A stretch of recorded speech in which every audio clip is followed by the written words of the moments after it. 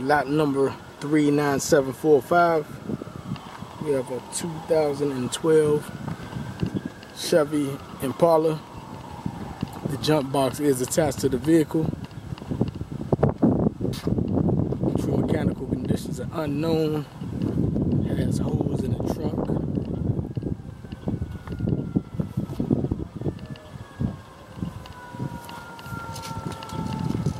The vehicle is not starting without a jump. And it's not starting with a jump. True mechanical conditions are unknown. Just wanted you to see what it was doing.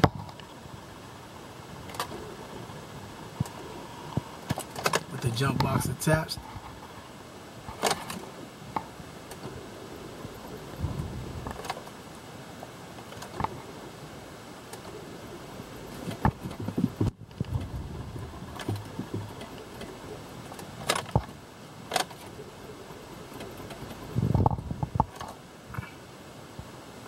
True mechanical conditions are unknown.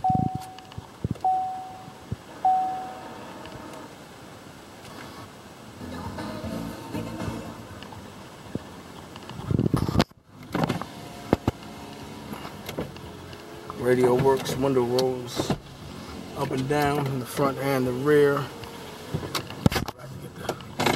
Okay, the vehicle does go into gear, so it will roll, but the vehicle is not uh, driving. True mechanical conditions are unknown.